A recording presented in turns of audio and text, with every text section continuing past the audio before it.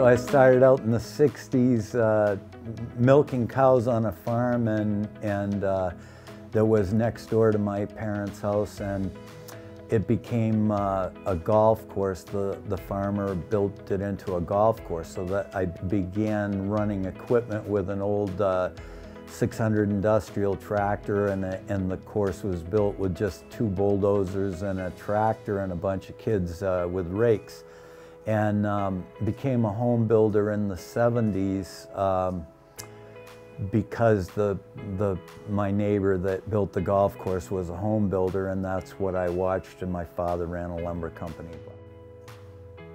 We have had, I believe, three excavators that we've run for 12,000 hours, 10, 10 to 12,000 hours, and two loaders to 10,000 hours.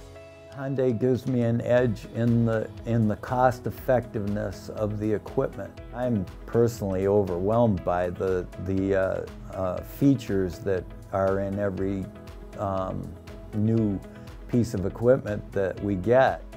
The hydraulic controls are, are so intuitive and easy to use. An inexperienced person can run it and appear to be an experienced operator plowing with a wheel loader is as comfortable as uh, and, and, and intuitively easy to operate as driving a pickup truck.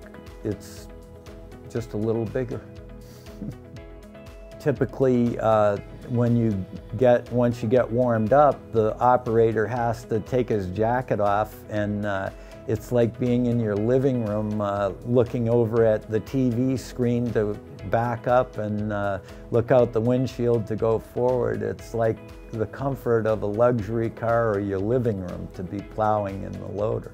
You know, the loaders, the visibility is fabulous and, uh, and, and that is an important thing because we're primarily in um, parking lots, commercial parking lots where there's constantly um, traffic um, pulling up to us, pulling up behind us, and uh, it can be a dangerous situation, especially if you're tired and you've been out there for 20 hours.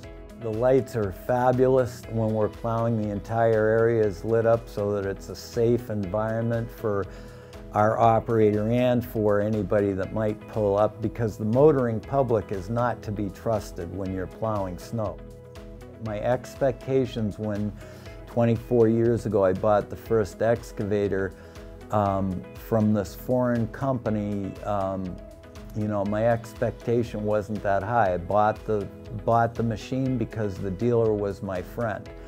And I have continued to buy the machines because the, the equipment proved itself. And uh, it, it has been cost effective for me. It has been reliable for me.